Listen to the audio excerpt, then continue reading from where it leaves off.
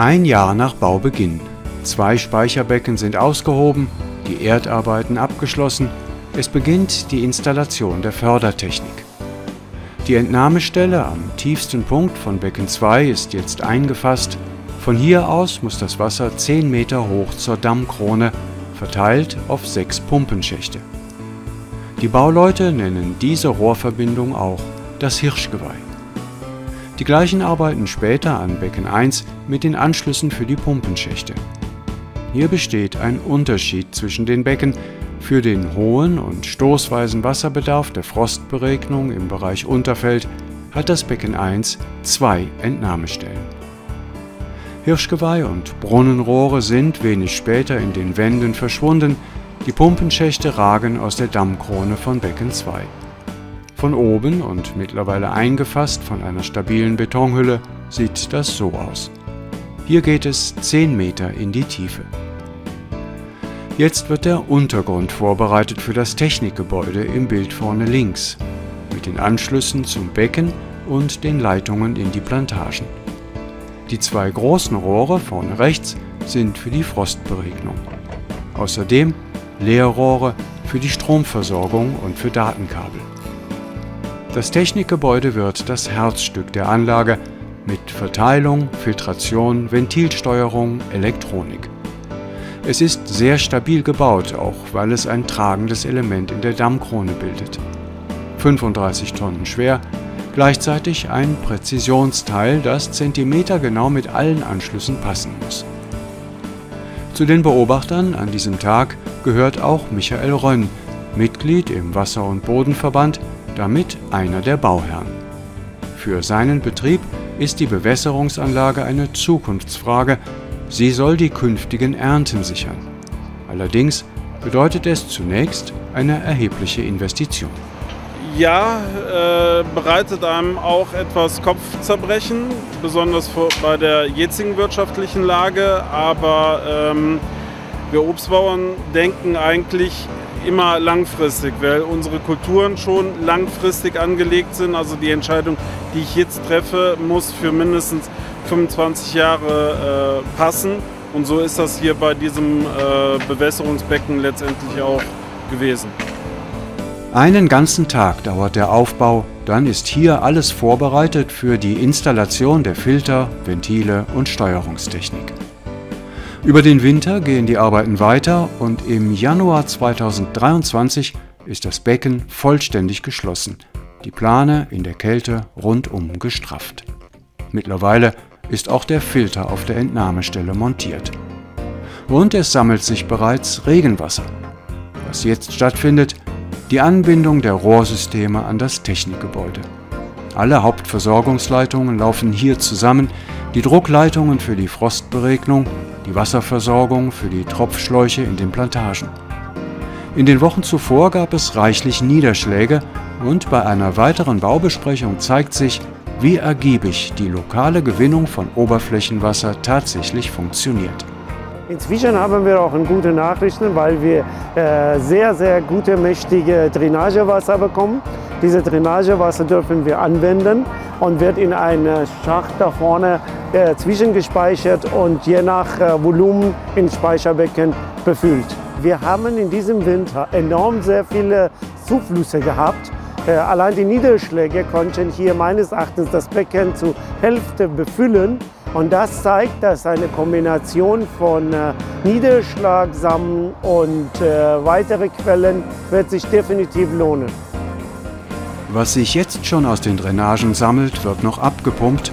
Insgesamt ein anhaltender, kräftiger Fluss von Regenwasser, direkt hier am Ort gewonnen. Auch im Technikgebäude gehen die Arbeiten voran. Der Aufbau ist jetzt klar zu erkennen. Leitungen, Filter, Ventile, auch die Stromanschlüsse sind vorbereitet. Ortswechsel zu Becken 1. Später im Jahr, bei trübem Novemberwetter, kommt auch hier das Technikgebäude an. Ein finales Teil, es muss ganz genau auf die vorbereiteten Anschlüsse passen. Lukas Mürzig von Irriport und Guido Brünagel, der Vorsitzende des Wasser- und Bodenverbandes, überprüfen noch einmal den Sitz des Gebäudes. Anderthalb Jahre nach Baubeginn ist für die Bauherren langsam ein Ende des Projektes abzusehen. Heute ist das Technikgebäude gesetzt worden. Ich denke, dass das okay, also dass das gut sitzt.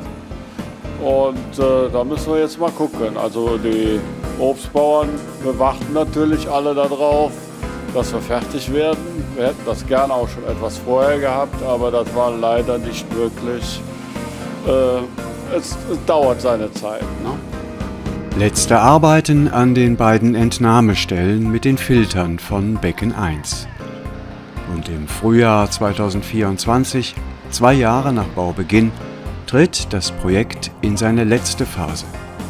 Der Tag, auf den alle gewartet haben, die Speicherbecken werden befüllt. Die Auslegung der Becken ist für den Frostschutz berechnet. Das ist für die Kultur das Kritischste. Anfang Dezember wurde angefangen, es zu füllen. Etwa zehn Tage wurde durchgehend gefüllt. Und jetzt ist es quasi zu zwei Drittel gefüllt. Und in dem Zustand bleibt es jetzt. Wir brauchen quasi keine 100% Füllung. Da in der ganzen Zeit noch Niederschläge dazugekommen sind, die das Becken ja auch noch nachfüllen. Das ist Wassermanagement. Die Befüllung fand nur in der Zeit von Wasserüberschuss in der Talsperre statt. Was man auch gut sieht, die Becken werden nicht bis zum Rand befüllt, der oberste Teil bleibt frei und schafft damit zusätzlichen Rückhalteraum, nebenher ein Beitrag zum Hochwasserschutz. Zwei große Installationen bleiben am Becken 1 noch zu tun, die Pumpen und die Filter. Das wassersparende Beregnungssystem für den Frostschutz ist auf sehr reines Wasser angewiesen.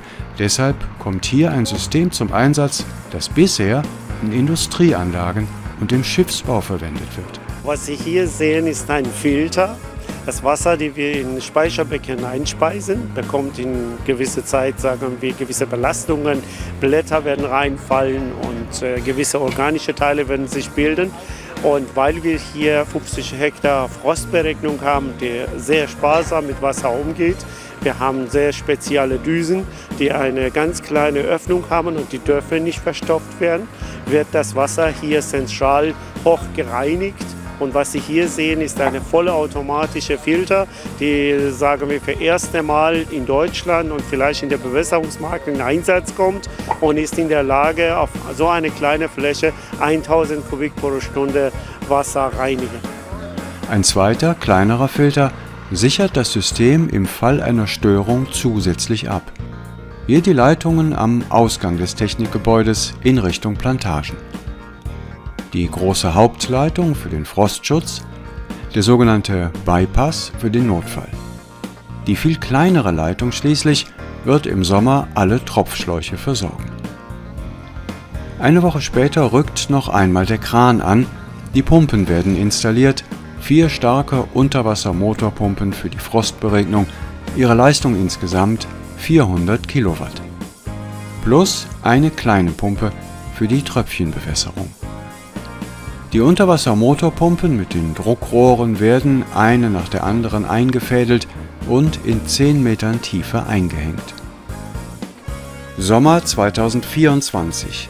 Die Speicherbecken sind gefüllt, die Technikgebäude betriebsbereit. Hier die Technik von Becken 1. Hinten der Filter für die Frostschutzberegnung im Unterfeld, davor der Sicherheitsbypass und im Vordergrund die kleine Leitung für die Tröpfchenbewässerung. An demselben Sommertag das Speicherbecken 2. Hier sind es drei Leitungen für die umfangreichere Tröpfchenbewässerung im Oberfeld und zwei Filter für die Frostschutzberegnung. Was diese Anlage auszeichnet, sie beansprucht, selbst in dieser Größe, kein Grundwasser. Aireport Consulting plant solche Anlagen immer mit dem Blick auf höchstmögliche Effizienz des Wassers und der nötigen Energie, mit Einsatz der bestverfügbaren Technik. Das Ergebnis vergleichsweise sparsamer Bau und niedrige Betriebskosten. Wir als E-Report mit unseren Erfahrungen und die Entwicklungen, die wir hinter uns haben, mit all diesen äh, detaillierte äh, integratorische Funktionen, die wir geleistet haben, sind die richtige Schnittstelle. Wir versuchen alle diese Aktoren vernetzen, informieren, bilden, schulen, Und wir haben im Zuge von dieser Entwicklung feststellen müssen, dass wir ein riesengroßes Potenzial haben, Wasser und Energie zu sparen. Und das ist unsere Rolle.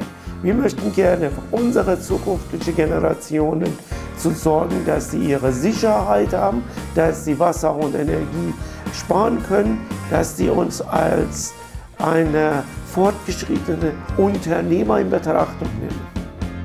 Nach zwei Jahren Bauzeit sind die Speicherbecken und die Bewässerungstechnik mit Pumpen und Filtern betriebsbereit. Im dritten Teil unserer Dokumentation über die Bewässerungsanlage des Wasser- und Bodenverbandes Ersdorf gehen wir hinaus in das Projektgebiet und zeigen den Bau des Versorgungsnetzes.